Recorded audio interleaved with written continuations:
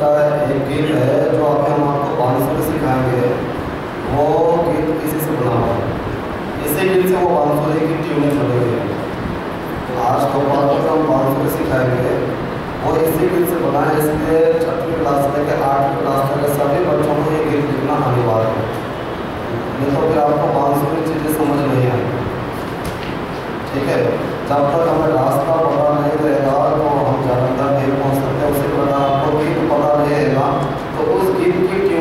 Allah'ın